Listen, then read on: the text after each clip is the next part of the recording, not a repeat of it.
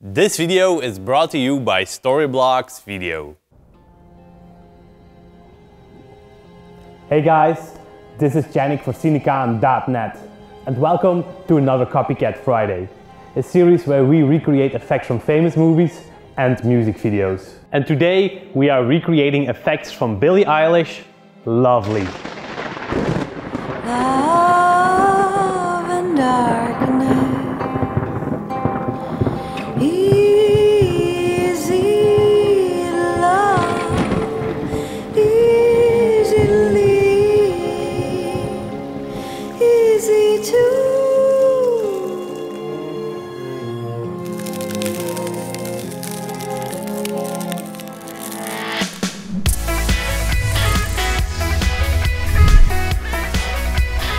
Like I already said today, we are doing some cool effects from one of our favorite artists from this moment, Billie Eilish. The effects that we are recreating are from an older music video of her, named Lovely. In this music video, you can see her standing in a glass box and on a certain moment, water will flow over this glass. And then all the water will freeze. Well, believe it or not, we are going to show you how to recreate it all, even the glass box. And no, we aren't going to build it for real. We are using After Effects for it. And do you know who also uses a lot of After Effects? Storyblocks Video. They have a wide range of After Effects templates with stunning effects, like logo reveals, transitions, slideshows, and so much more. But that's not all. They also have a stock video library that keeps expanding. For one single price per year, you can download unlimited assets. And if you want, you can start downloading right away. Click on the first link in the description below.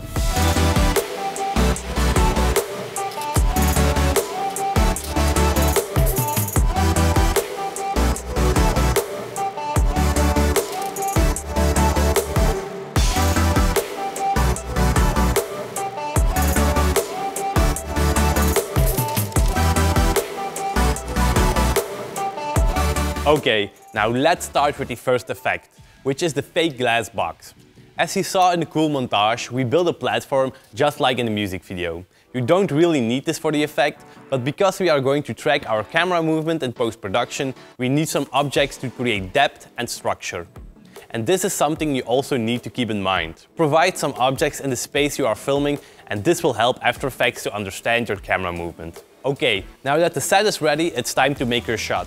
You can make whatever shot you want, but we recommend to have a somewhat big movement in it. This big movement will give After Effects some more information on the perspective. Okay, now let's go to After Effects. Load your shot into a new composition and let's start with the camera tracking. Go to the right side of After Effects and search for the tracker panel. If you can't find it, go up to the menu on top and to Window.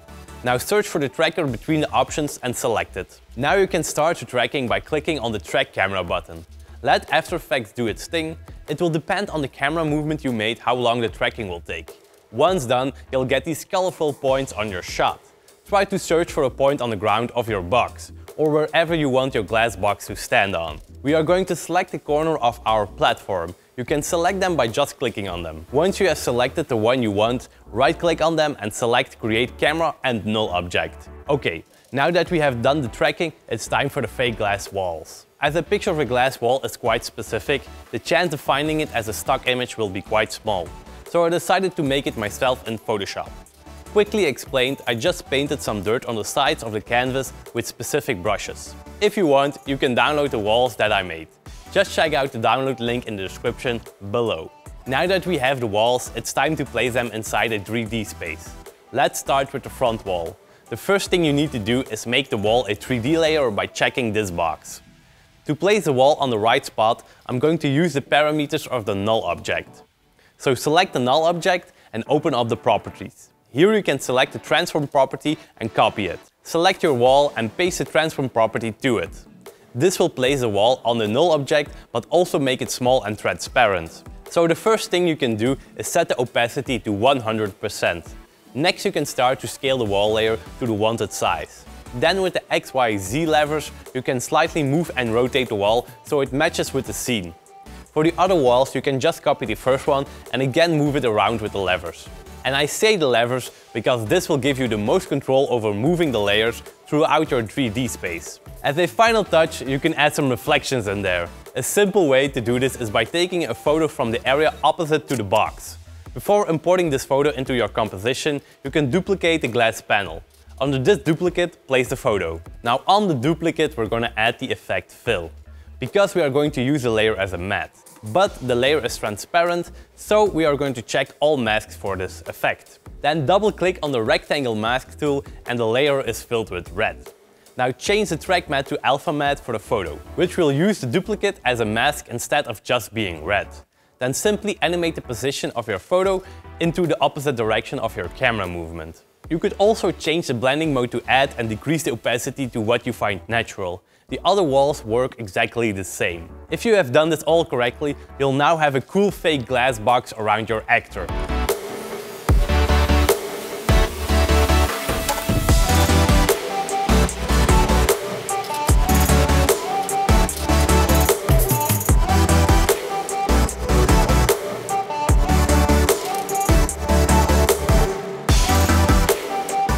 Good job, Janik. You're doing a great job so far. In the intro, guys, you saw that we also worked with real water. And we actually tried making the water effect inside After Effects as well, but we found out that it took many steps to make it look realistic. So we asked ourselves the question, isn't it maybe easier to do it practically? And yes, it is. And that is also a tip that I want to give to you guys. Always ask yourself, can we do it practical, which is always going to look more realistic and better. Another example is where we once did a Superman lift off, you know, where we had some sand shooting up in the air. We could do that inside After Effects, but you know, throwing real sand in the air is of course much easier to do and it looks a ton better as well. So that's also what we did right here. Now we didn't recreate that entire glass box, of course, because that is gonna be really expensive. So we just purchased two very simple plastic panels as you can see and we would throw water over there. So Janik would stand here in the middle and we'll have the camera over there and then uh, it seems like Janik is standing within a glass box. Now it was important that the water would flow over this panel evenly. So what we did was attach a fire hose to this plastic tube here on top. We drilled some holes in there and that way the water will flow evenly over this panel. We also set it up a little bit curved and that way the water will stick better to that plastic panel. And then the front panel, which works exactly the same, only here I had to pour water through a bucket standing on a ladder because we only have one fire hose here in the studio. In order to make the water flow evenly here as well, I kind of just taped a piece of tape here on top and that way the water will be guided more towards the sides as well. And that's basically it. Also here, we kind of have this uh, panel a little bit curved so that the water will stick better to the glass. And that's about it, guys.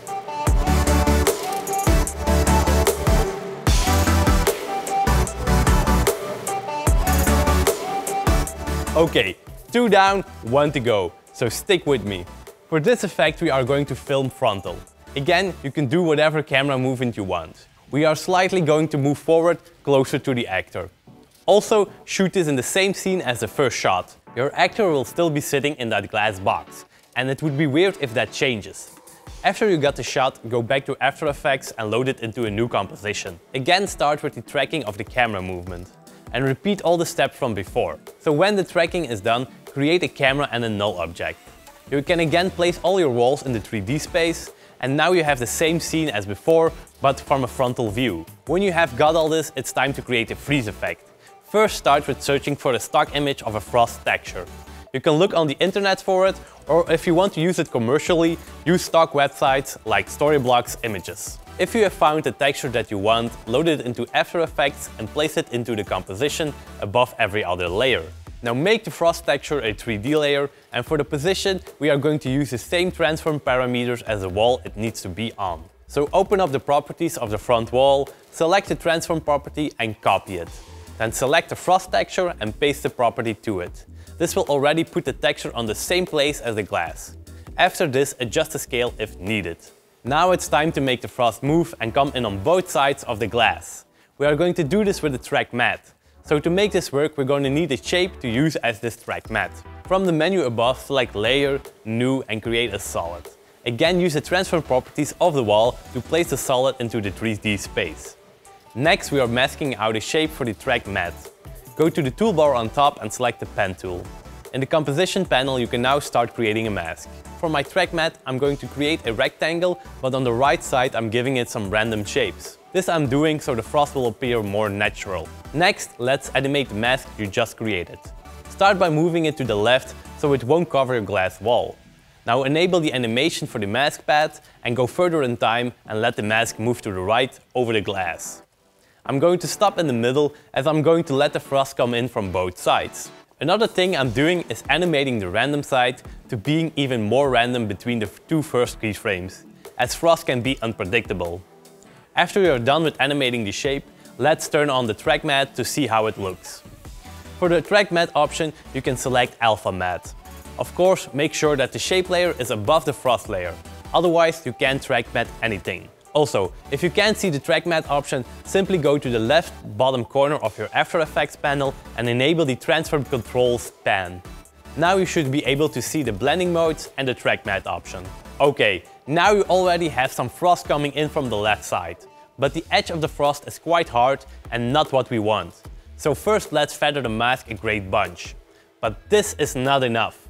So go to the Effects and Presets library and search for the Roughen Edges effect. Drag that to the solid and from the effects control panel you can now start changing the settings till you find something you like. I mostly played around with the complexity, stretch width or height and the edge sharpness. Also if you have something you like, you can also add some more feather to your mask. This will enhance the roughen edges even more. Now we have a cool animation for one side. For the other side you can do exactly the same. To make it yourself easy, select the solid and the frost layer and duplicate them. You can do this by simply pressing Ctrl D. Delete the mask from the solid and create a new one. Animate it so it goes from the right to the left and voila, you have two frost sides. But it's not finished yet. First add the last details. The first thing to do is change the blending mode. Here you can go for add, just like us. We are also going to decrease the opacity as the frost is a little bit too much. The last thing we are now adding is some fog. And this is done super easy. Just select the solid we created for the track matte and duplicate it. Again, press Ctrl D. Now take this duplicate and place it under all the frost layers. With the new solid still selected, head over to the menu on top and select Layer and then Solid Settings. Here you can change the color of the solid. We went for something bluish to make it colder. Once done, click on OK. Now go to your timeline and change the opacity to around 30%. For the last step you can open up the mask properties. Here you can decrease the feather a bunch and increase the mask expansion. Also don't forget to change the blending mode to screen. Wow, that was a lot, but all worth it for this very cool effect.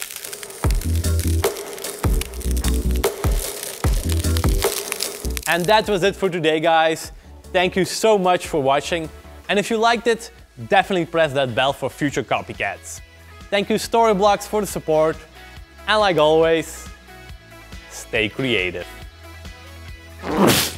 Which we will need to use the layer as a...